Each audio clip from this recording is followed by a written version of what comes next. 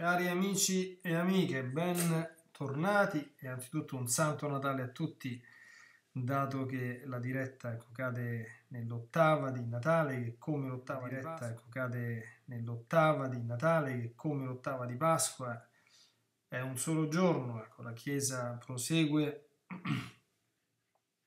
per otto giorni il numero della risurrezione, la gioia di celebrare la, la nascita eh, sulla terra del nostro eh, unico Dio e Salvatore, fatto uomo come noi, Gesù Cristo, che è l'oggetto primo e principale di tutta la nostra speranza.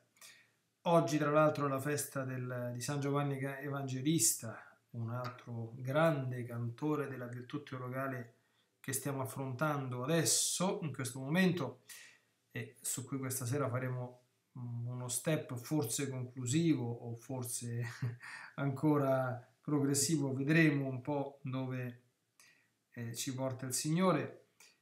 Questa virtù avremo ormai capito che è una virtù meravigliosa, bellissima, perché è una virtù fortemente unitiva, eh, ci fa spuntare le ali, ci fa librare dalla terra al cielo, quindi ci fa vivere con il corpo certamente sulla terra, ma con il cuore, con il pensiero, con l'anima già in cielo, non certo perché viviamo come dei mezzi, come dire, alienati o disadattati o persone veramente che, che non ci sono eh, né con la testa né con altro, ecco, ma avendo il timone fisso, l'obiettivo fisso e poi avremo già compreso che chi è radicato nella speranza è assolutamente più stabile di una roccia incrollabile.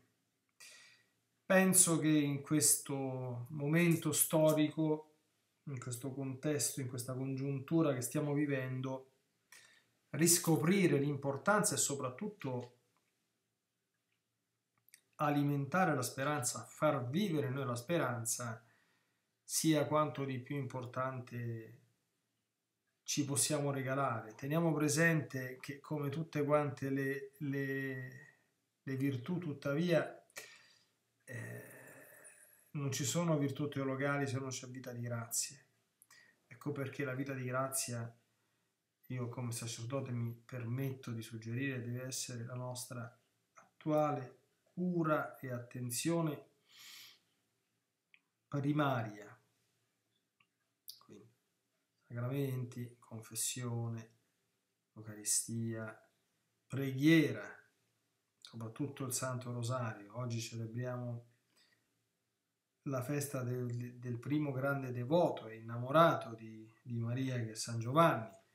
Ha avuto la grazia, come dire, di essere il destinatario diretto, ecco, certamente eh, a nome di tutto quanto il genere umano, ma donna ecco tuo figlio e figlio ecco tua madre, eh, Gesù l'ha detto a San Giovanni, 25 anni con eh, Maria Santissima ci ha vissuto San Giovanni, quindi ha certamente imparato molto, molto bene che cos'è eh, la vera devozione alla Madonna che tutti ecco, da lui cerchiamo ecco, di, di imparare sempre più e sempre meglio.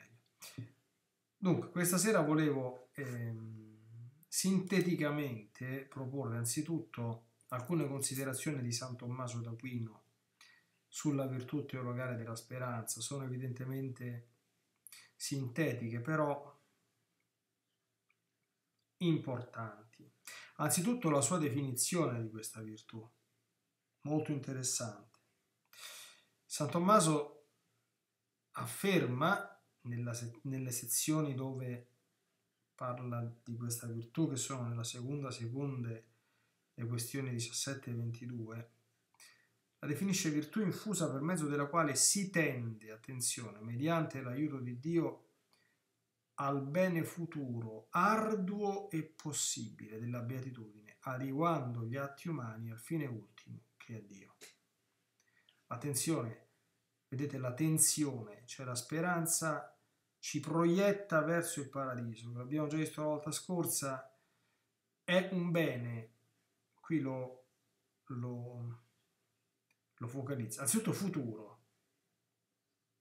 Noi puntiamo al futuro. Noi non siamo stati fatti per il pianeta Terra. Attenzione, eh. Noi non siamo stati fatti per il pianeta Terra, la nostra vita non è qua giù.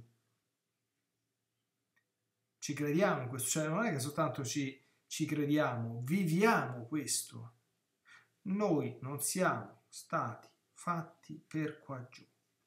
Credo di aver già detto nelle puntate precedenti, avrete pazienza e pietà eh, se purtroppo la tenda d'argilla che diventa sempre più flebile mi fa dimenticare, non riesco ad essere perfettamente padrone di tutto quello che ho fatto e che ho detto perché, anche perché la mia attività, come dire, nella predicazione è abbastanza intensa, abbastanza impegnativa, quindi non, non ho sempre il controllo, quindi perdonerete qualche, qualche ripetizione, no? E, ehm, credo di aver già detto che la speranza ci fa vivere in cielo pur stando qui sulla terra. Non siamo stati fatti per la vita di qua giù. Una persona che vive fortemente la virtù della speranza anela alla vita eterna. Posso stare anche 150 anni qui, se Dio vuole però, e se ci sto, ci sto semplicemente per, per fare la sua volontà, per compiere la mia missione, se lui ritiene che ho ancora qualcosa di buono da fare per la sua gloria, per il bene della Chiesa, per l'umana società, per la salvezza delle persone. Se lui questo ritiene, possiamo starci pure altri 150 anni sul pianeta Terra, speriamo un po' di meno. Però se avessimo già finito ma magari, no? Provate a pensare, se ti dicessero c'hai due giorni di vita, tu che penseresti? Prova a pensarci, chiunque tu sia che ascolti questa catechesi. Che pensi? Bene futuro, il paradiso. È un bene anche però arduo, lo definisce eh, San Tommaso. È un bene arduo. Abbiamo già visto la volta scorsa. Non vanno tutti in paradiso. Non ci vanno tutti. Perché Dio il paradiso lo rende accessibile a tutti. Il nostro Redentore, Signore Gesù Cristo, si è fatto uomo per riaprirci le porte del cielo, certo. Ma come abbiamo visto già la volta scorsa, Dio sottopone, approva i suoi figli, non dà i suoi beni se non a chi si dispone a riceverli.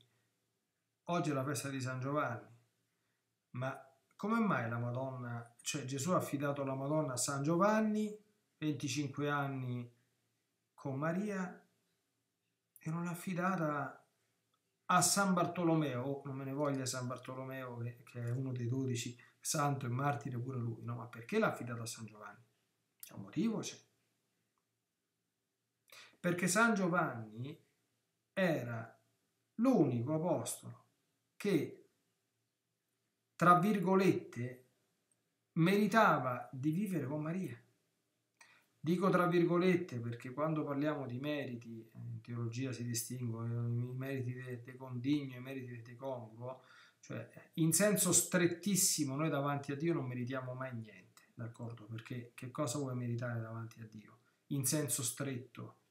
Tutto quello che noi possediamo lo abbiamo ricevuto, ma in senso lato, cioè posta certamente il primato della grazia di Dio, è il fatto che anzitutto tutto il suo dono e le sue misericordie, su questo non si deve avere dubbio, si deve discutere. Però posto questo, cioè quello che noi ci mettiamo e come noi custodiamo e come noi facciamo crescere la grazia di Dio, e questo conta davanti a Lui. Per cui in paradiso ci va chi osserva la parola di Dio, chi osserva i comandamenti di Dio. Se non l'ha fatto, quantomeno si pente, chiede perdono prima di morire. Quindi il paradiso è un bene arduo oltre che futuro. Però, ecco eh, l'aggiunta che tempera, è un bene possibile. Non è impossibile andare in paradiso, è difficile, come la vita cristiana. Padre Pio diceva sempre che la vita cristiana è bella, però col suo accento vagamente campano, però è un pochino difficile. Lui dice, si aggiungeva un pochino difficile. Certo, perché richiede tante cose, però è bello. Allora, l'oggetto quindi del formale proprio della speranza qual è? La beatitudine eterna, l'oggetto ultimo. La beatitudine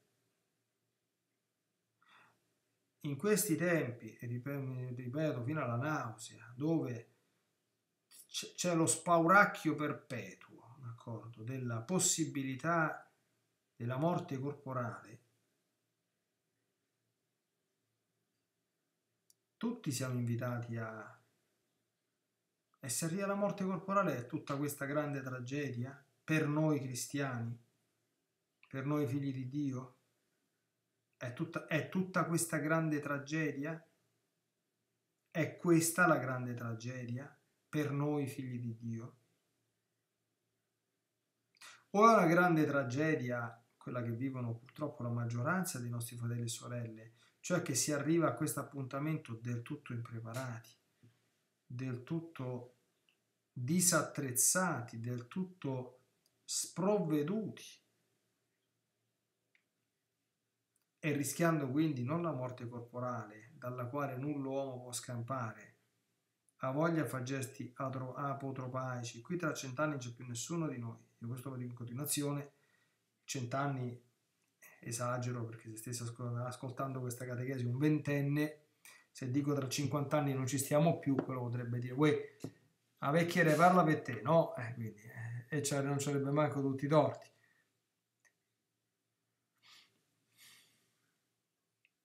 La beatitudine eterna. Il cielo patria mia, dice un canto popolare in onore della, della Madonna. Quando andiamo a letto la sera, che pensiamo? Pensiamo come pensa qualcuno, evviva, manca un giorno di meno.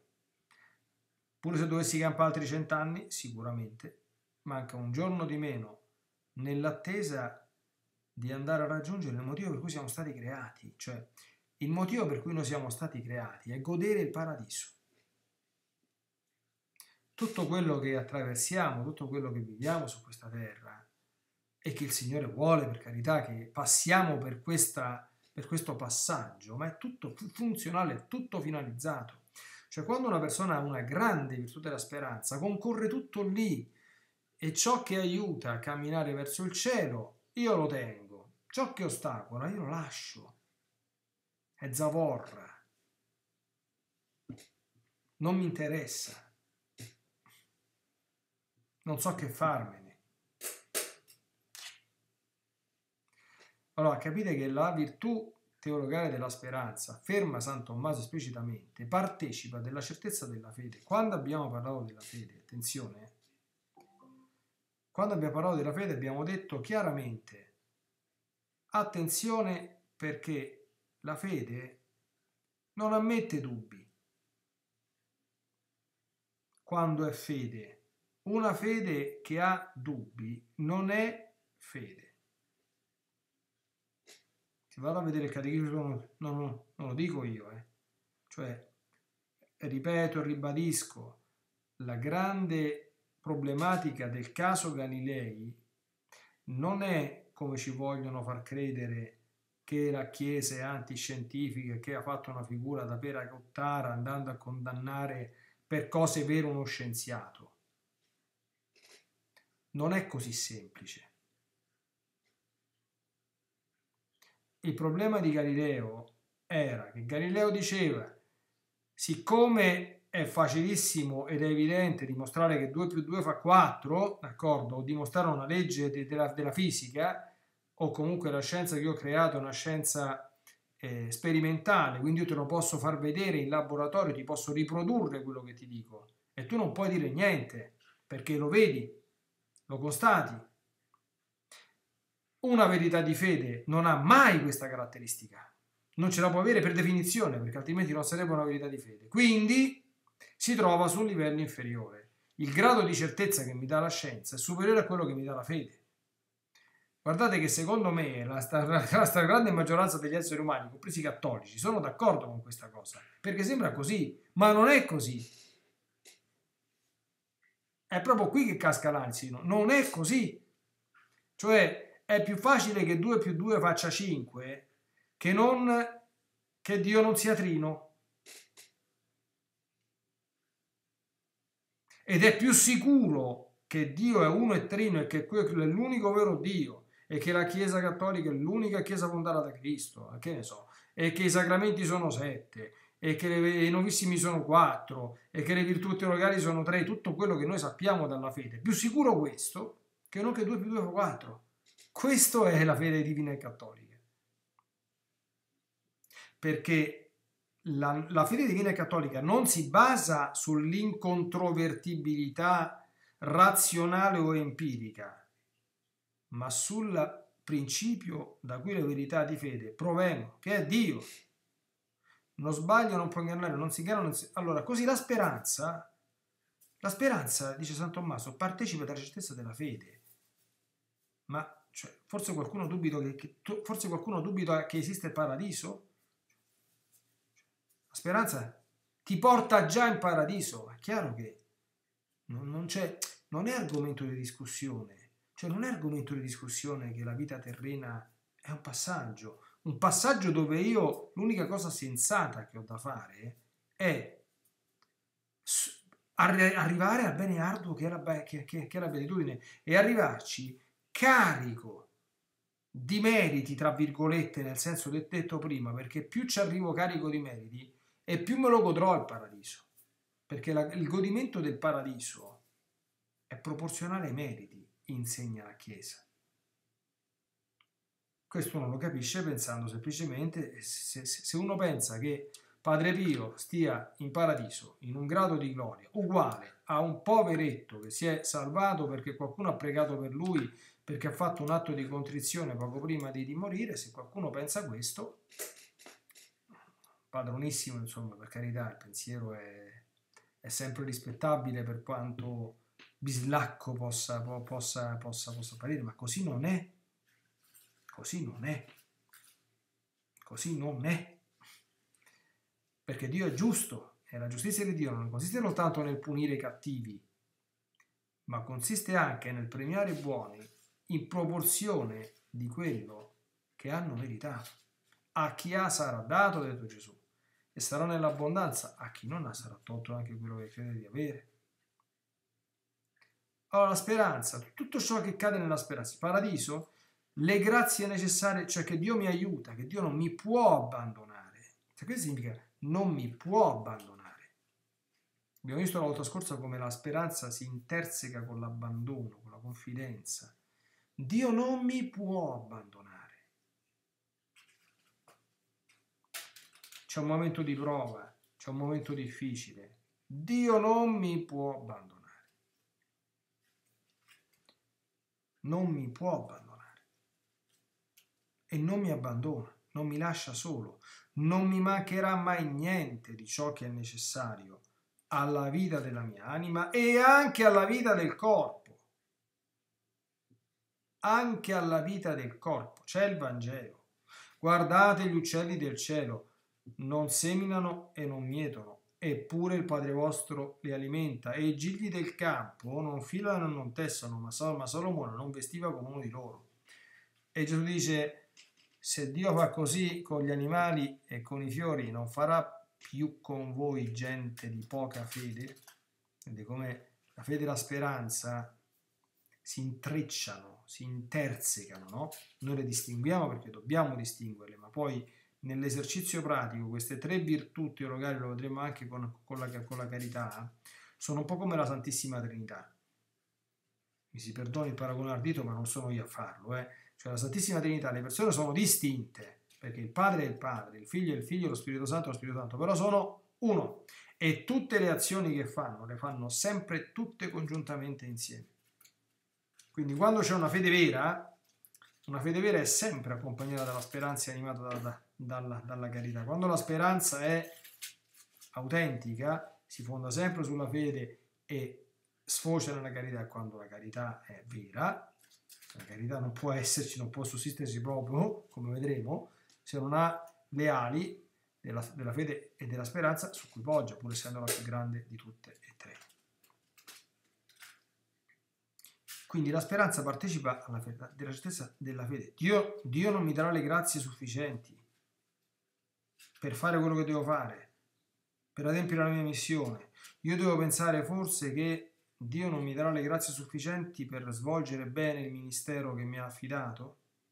Sono io che, che, che, che corro il pericolo di, di sprecarle e, e di combinare guai in continuazione, ma da parte sua non c'è assolutamente nessun dubbio.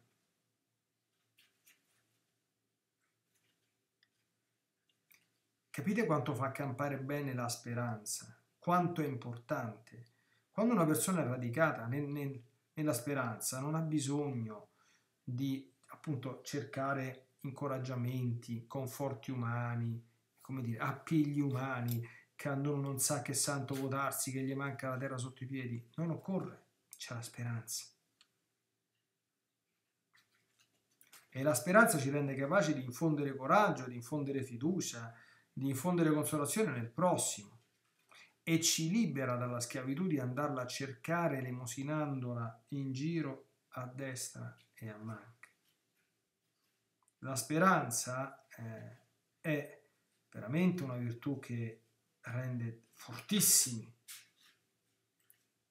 stabili, solidi. Allora, San Tommaso aggiunge che questa virtù causa nell'anima il fatto che chi la possiede si infervora ad amare Dio e ad osservarne i comandamenti. Quindi quando il nostro amore diventa fervoroso e anche il nostro zelo per l'osservanza dei comandamenti diventa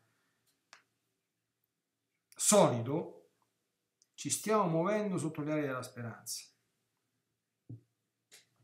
e aggiunge anche che la speranza fa aderire a Dio, aderire in quanto principio della perfetta bontà.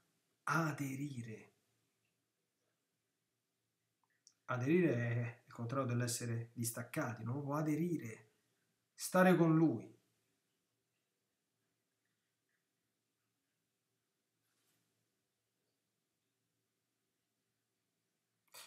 Allora, San Tommaso aggiunge ancora, c'è un dono dello Spirito che afferisce alla virtù teologale della speranza. Sapete qual è? Il santo timore di Dio. Il santo timore di Dio, dice San Tommaso e con esso la Chiesa, in realtà si distingue in due specie. C'è un timore che non è proprio è santo in senso meno forte. Il timore servile, cioè si ha di Dio, come dire, un senso di riverenza e di soggezione che può sfociare, rasentare anche un po' di paura, perché si teme la giustizia di Dio, la pena che Dio commina dinanzi a chi opera il male. Invece c'è il timore filiale, quello mosso completamente e solo dall'amore, che teme di offendere Dio, quindi di dispiacere a Dio, e lo si riconosce da due atti. La riverenza verso Dio, la riverenza verso Dio. Le persone che hanno la speranza hanno una grandissima riverenza verso Dio e si vede la differenza. Sapete da cosa si vede, no? Come una persona prega, come tratta le cose sante, è un prete come celebra la messa, è un laico come, come partecipa eh, alla messa, no? Tanto per dirne una. La riverenza verso Dio e al tempo stesso il timore o anche la paura o anche il terrore di separarsi da Lui. Se, dovessero se, se, se, se un cristiano dovessero dire di che cosa hai paura tu? Di nulla, tranne che di separarmi da Dio. Di questo sì, tanta. Di cosa hai paura tu? Di nulla, tranne che di separarmi da Dio, che Dio mi custodisca, che Dio mi protegga, che Dio non lo permetta. La bellissima preghiera di Sant'Ignazio, quella che si usa ringraziamento della Santa Comunione, non permettere che io mi separi da te. Questa è la grande paura, l'unica paura. L'unica. Paura della morte? Nessuna paura della morte. Paura della sofferenza? Nessuna paura. Certamente nessuno di noi è, è come dire, è, come dire, si diverte nel soffrire. Ma se Dio questo ci chiede, nessun problema. Paura della persecuzione? Paura della derisione? Oggi per essere cristiani bisogna avere il coraggio di andare tanto controcorrente, eh? Devi avere il coraggio di essere minoranza, minoranza, minoranza, eh? di essere minoranza sempre più sparuta, sempre più minuta. E con questo problemi? Nessun problema. Il santo timore di Dio, dice la Sacra Scrittura, è anche il principio della sapienza. Bellissima questa cosa. La sapienza l'abbiamo già accennata, credo trattando delle virtù intellettuali, è una virtù meravigliosa, perché la sapienza ci consente di giudicare e guidare la nostra vita secondo Dio. Quando Gesù dice a Pietro, tu non pensi secondo Dio, ma secondo gli uomini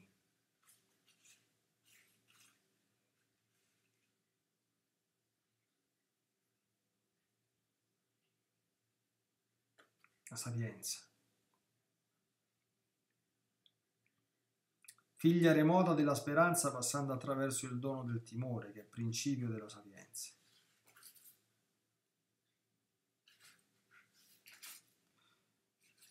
Attenzione che gli uomini generalmente non hanno il santo timore di Dio, eh? hanno il timore del mondo. E qui dobbiamo fare l'esame di, di coscienza. Il timore del mondo, sapete qual è? è quello che fa allontanare da Dio e dalla sua volontà per paura di certi mali, quali uh, la derisione, la non accettazione sociale, la perdita dei beni, la perdita dei soldi, la perdita delle proprie posizioni, la perdita della stima, la perdita di posizioni di prestigio. Di chi abbiamo noi timore, tra virgolette? Abbiamo il santo timore di Dio? O abbiamo il timore del mondo? Quando uno c'è il santo timore di Dio, se deve fare una cosa e c'ha tutto il mondo contro, tutto il mondo contro, eh, ma è interiormente certo che quella cosa Dio la vuole, non ha nessunissimo dubbio su quello che deve fare. Nessuno. Ed è pronto ad assumersene tutte le conseguenze, tutte, nessuna esclusa. Ma se questo non c'è,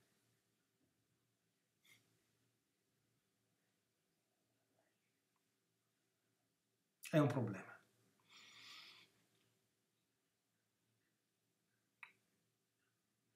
San Tommaso aggiunge ancora che la virtù teologale della speranza ha una beatitudine particolarmente confacente con essa. Qual è tra le otto beatitudini?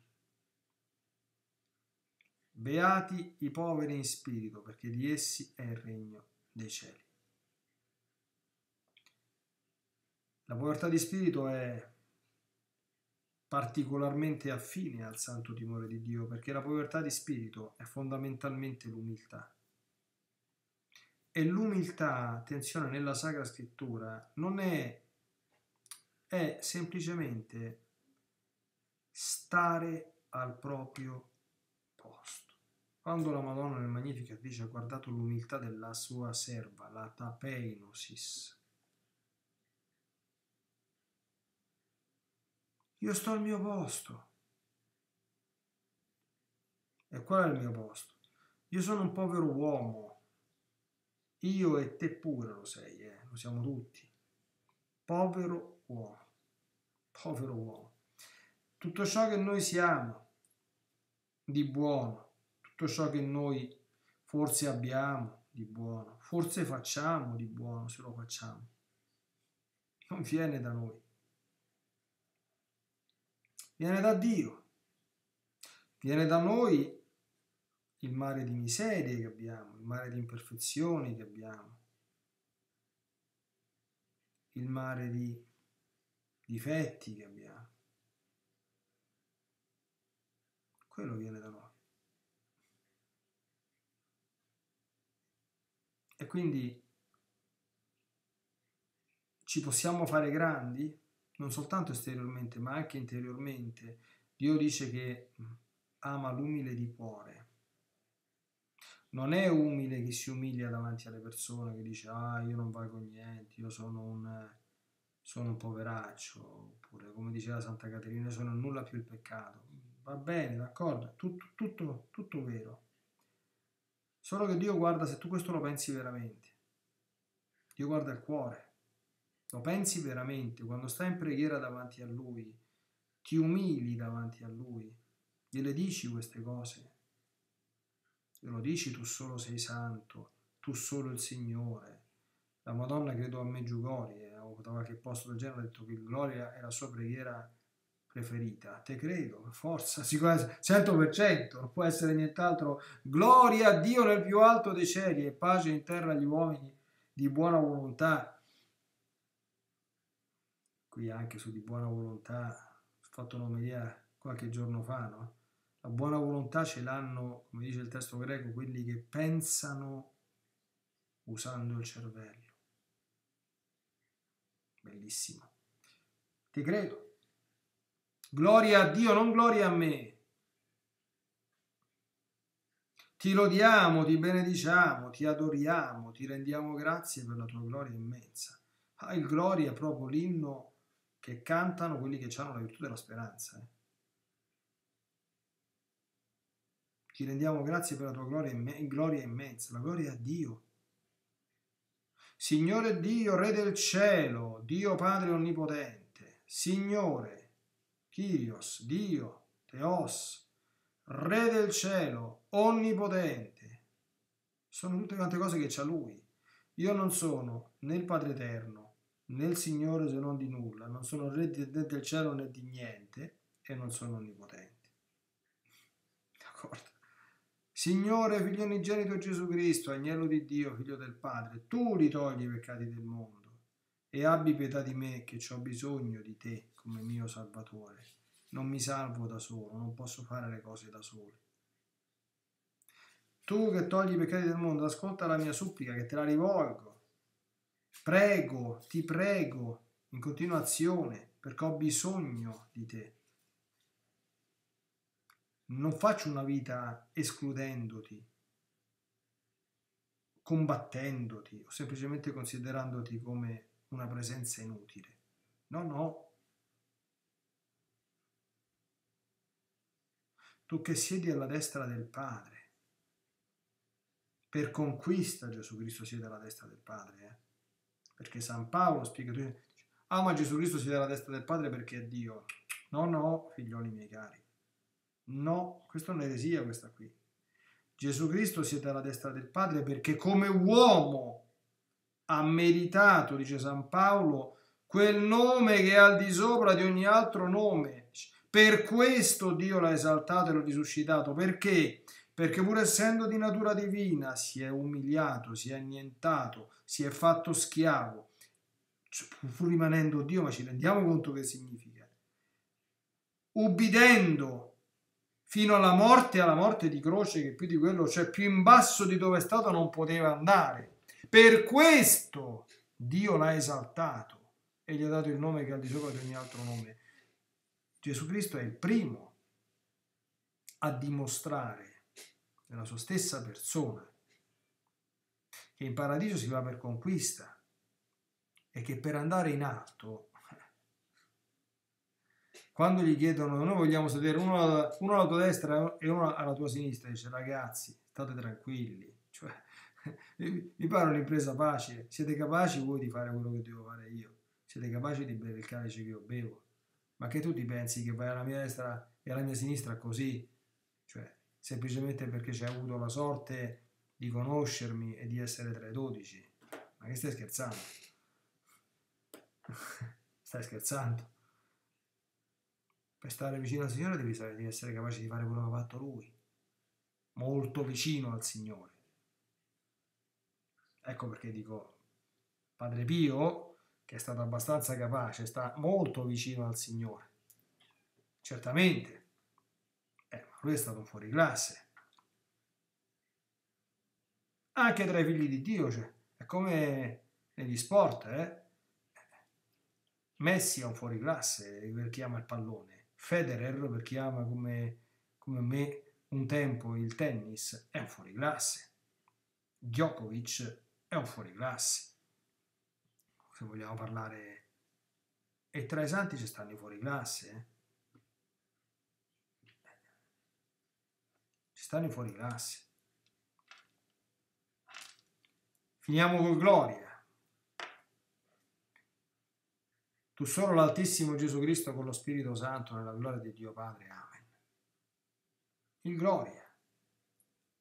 Il canto di quelli che hanno la speranza, di quelli che sono poveri di spirito, di essi è il regno dei cieli, dice Gesù. Ecco perché, cioè, chi ci va in paradiso? Chi, va, chi ha la speranza ci va in paradiso. Chi lo desidera con tutto il cuore. Chi ci investe. Chi ci investe. Sul paradiso bisogna investire, figlioli miei cari. Eh? Investire. Scusate, se una persona, che ne so, si fa due digiuni a settimana, ma cosa sta facendo? tra le altre cose. Sta investendo nel paradiso. Per quando uno non mangia, ragazzi, guardate che c'ha fame. C'ha fame. E perché non mangio? Perché io rinuncio. Perché io sono certissimo in questo gesto qui, nostro Signore lo accoglie e me ne ricompenserà oltre a tutte le altre motivazioni. Cioè, io rinuncio a qualche cosa che c'è adesso e qui perché io credo a qualcos'altro che non c'è adesso che c'è di là. Chiaro? E per rinunciare al peccato, ma, co- ma come si fa? Ah, ma oggi possono arrivare due giovanotti casti al matrimonio. Ma sicuramente sì, sicuramente sì. E non è manco, tanto, non è manco troppo difficile. Non è manco troppo difficile. Perché se tu ci credi che chi arriva casto al matrimonio, questo ci può mettere la firma sopra, eh, c'ha un autotreno di grazie preparate per quel matrimonio che riceve. Ma sai che significa un autotreno, una cofana, che non sa dove mettersele. E chi non ci arriva casto al matrimonio, mi dispiace, non si sente offesa nessuno, eh, ma quell'autotreno di grazie non ce l'ha. Non ce le ha. Questo se lo metta bene in testa. C'è stato un aneddoto di, di, di Padre Pio che non lo posso raccontare perché è estremo che dimostra quello che sto dicendo. E non solo c'è un autotreno di grazie per il matrimonio, ma ci avrai una corona di gloria in paradiso. Noi non possiamo non pensarci a queste cose. È chiaro che noi non siamo mercenari. Noi non è che facciamo le cose per, per, per, per presentare davanti a Dio, oh, ho fatto questo, adesso dammi la ricompensa. Ai santi non gliene importa niente della, della ricompensa, ma sanno che c'è però e ci credono fermissimamente e investono, cioè I cristiani sono dei grandi investitori, noi, io eh, quando studiavo eh, economia politica, noi siamo tutti quanti investitori e i cristiani sono tutti quanti, come dire, informati alle leggi di macroeconomia, sono tutti quanti sul lungo periodo, sempre. Lungo, noi siamo sempre investitori sul lungo periodo, perché il paradiso è, è un investimento sempre a lungo periodo. Io faccio un'elemosina con, consistente, con, cospicua, e perché la faccio? Perché il nostro Signore mi, facendo quell'elemosina puoi stare tranquillo che non ti manca niente in questo mondo. Eh? E quella, che, quella l'elemosina te la ricompensa in cielo, te la ricompensa in cielo se la tieni nascosta. Capiamo che cos'è la virtù della speranza. È una delle virtù oggi proprio che zero assoluto quasi. Non si vede da nessuna parte, la gente non ce l'ha e non ce l'ha come abbiamo già visto, la speranza si alimenta dall'humus della, della, della fede. Se la fede langue, la speranza sicuramente muore. Eh. Cioè, non c'è proprio, cioè è proprio, è ovvio che sia così.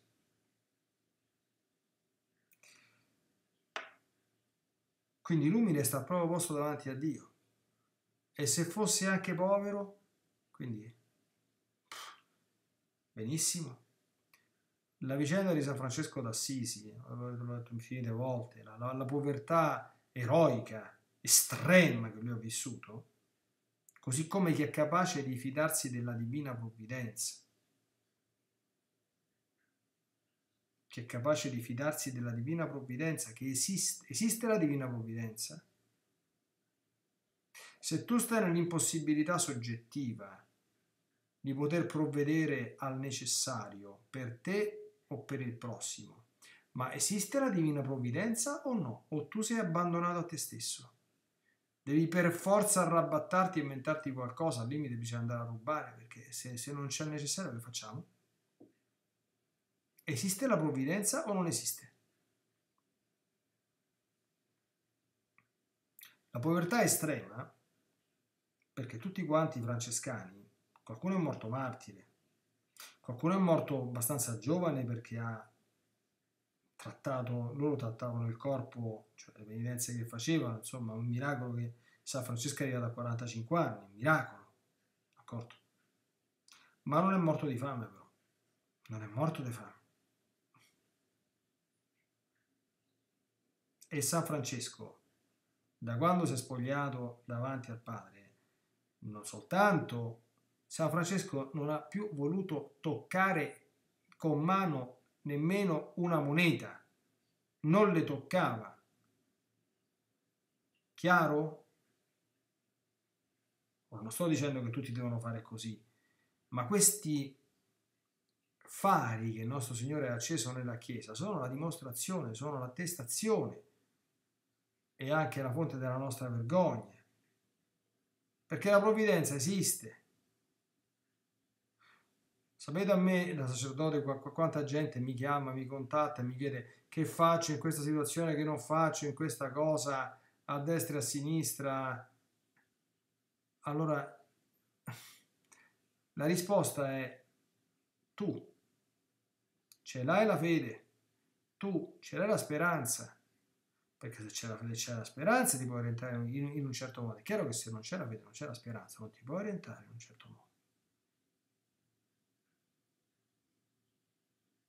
Fino a che punto uno è disposto a fidarsi di Dio? Fino a che punto? Quanto siamo disposti a investire? Guardate che i cristiani sono investitori, eh, sono investitori folli, eh? investono tutto, tutto sul cielo e non restano delusi, ma sono investitori folli.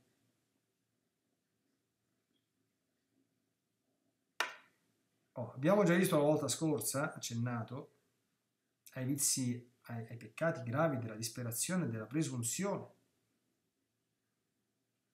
peccati formalmente diretti contro la speranza, che diventano peccati contro lo Spirito Santo, la disperazione, che disprezza la misericordia di Dio, il peccato di Giuda, il peccato di Caino, ma anche la presunzione che disprezza la giustizia di Dio. In paradiso non si entra senza meriti. Bene, questa è un po' una sintesi di quello che adesso l'ho, messo in forma discorsiva, non ho voluto fare certamente una trattazione, come dire, scolastica perché siamo in un contesto catechetico, no? quindi diventa poi oltremodo pesante. Volevo concludere leggendo alcuni passaggi molto belli, a mio avviso, ed edificanti del Catechismo della Chiesa Cattolica, circa la virtù della speranza. Uno mi pare che l'abbiamo anche già letto. Sì, andiamo a vedere un attimo il, il 1821. Noi possiamo sperare la gloria del cielo promessa da Dio a coloro che lo amano e fanno la sua volontà. Capiamo? Noi possiamo sperare, catechismo, eh, non dico io, la gloria del cielo promessa da Dio a chi però a coloro che lo amano e a coloro che fanno la sua volontà. Ergo, chi non ama Dio non fa la sua volontà, ha ben poco di cui sperare. Evidente questo qui, no? In ogni circostanza ognuno deve sperare con la grazia di Dio di perseverare fino alla fine e ottenere la gioia del cielo. Credo di aver accennato anche la volta scorsa. La perseveranza finale è una grazia da impetrare.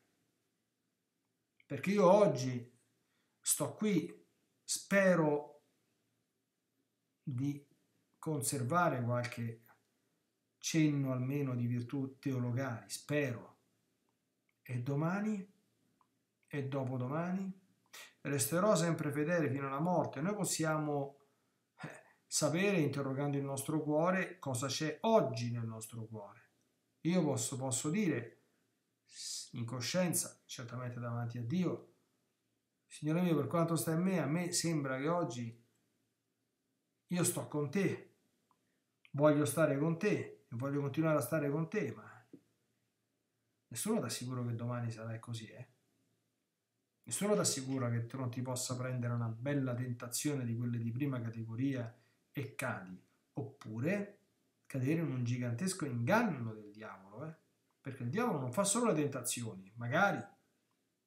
Il diavolo inganna, ti tende le trappole, ti tende le tranelli, i tranelli e a volte se si cade in qualcuna di, di quelle trappole ci si fa male assai.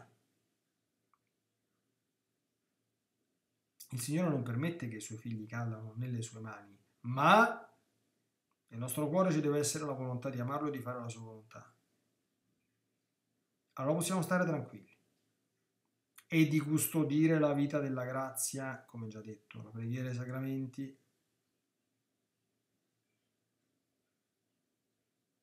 Quindi in ogni circostanza ognuno deve sperare, con la grazia di Dio, di perseverare sino alla fine e ottenere la gioia del cielo. Attenzione alla gioia del cielo, attenzione a quello che dice, eh. quale eterna ricompensa di Dio per le buone opere compiute con la grazia di Cristo.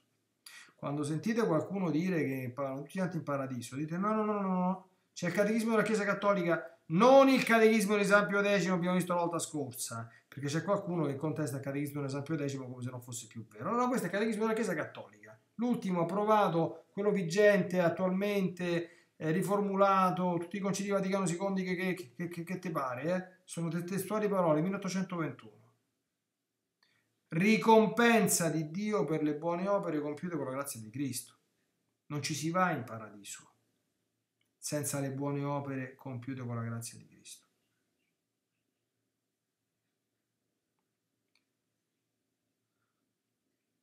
E conclude questo bellissimo numero 1821 è da incorniciare è la frase di un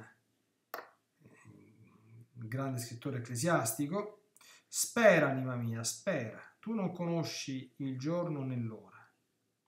Veglia premurosamente. Tutto passa in un soffio. Sebbene la tua impazienza possa rendere incerto ciò che è certo, e lungo un tempo molto breve. Pensa che quanto più lotterai, tanto più proverai l'amore che hai per il tuo Dio. Ah, adesso, quanto più lotterai, tanto più proverai l'amore che hai per il tuo Dio. Chi ha la speranza lotta. La buona battaglia ovviamente, eh? ma lotta.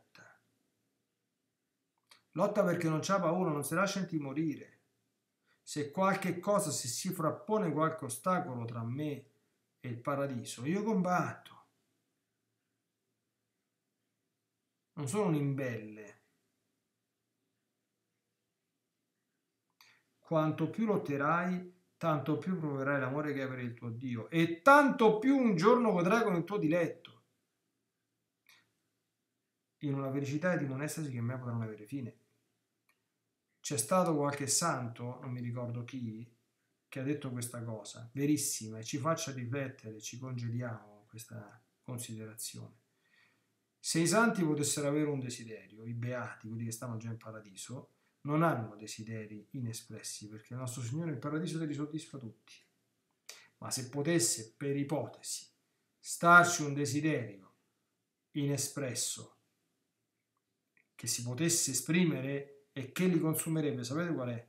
Tornare in terra per fare di più per il Signore. Più opere, più preghiere, più sacrifici, più quello che ti pare. L'unico desiderio che i beati, se potessero avere un desiderio, avrebbero. Siccome noi siamo ancora qui, cerchiamo di dare il meglio di noi stessi, perché in paradiso possiamo stare in alto in alto, ma non per ragioni gerarchiche, dice ah, sono in alto, quindi io sono un pezzo grosso del paradiso, mazza, o mica, mica so come l'ultimo che si è salvato per rotto della cuffia, questo, non è questo il motivo. È che il godimento sarà, sarà maggiore. C'è qualcuno forse che non anela a grandi godimenti, a grande felicità. Noi siamo stati creati per questo. Solo che i grandi godimenti e le grandi felicità non stanno qui né tantomeno coincidono con quelle porcate, scusatemi il termine, insomma, quelle schifezze che vengono sbandierate come lucciole fallaci e ingannevoli dal mondo. I santi ci sputano sopra quelle cose, proprio ci sputano sopra, le disprezzano, perché hanno altro a cui pensare,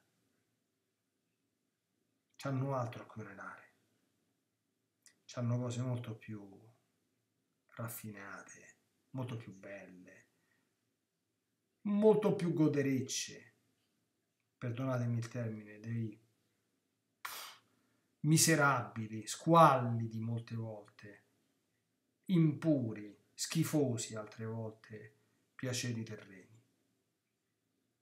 Non è roba da figli di Dio. Non è roba da. Bene amici miei, buona speranza a tutti. E rimaniamo sempre, come dice San Paolo, lieti nella speranza e forti nella tribolazione. E come sempre, per chi vuole e chi ci sarà, ci diamo appuntamento alla prossima puntata con la mia benedizione su ciascuno di voi. A presto!